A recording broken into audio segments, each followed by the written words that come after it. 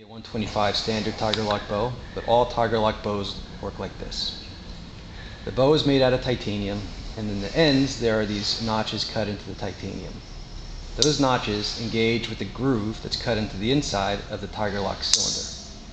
To put the cylinder on the ends of the bow, you squeeze the ends together, and then you tilt the cylinder on. When you let it go, those notches engage with the groove. It's not locked at this point because you can squeeze it together and get the cylinder on and off. To lock it, you press this button. Pressing that button drops a pin between the ends of the bow, which you may be able to see in there. Now you cannot squeeze the ends of the bow together. The notches are engaged with the groove. You can spin it, but you can't get it off. To get it off, you would need a key. 125 standard TiGr Lock.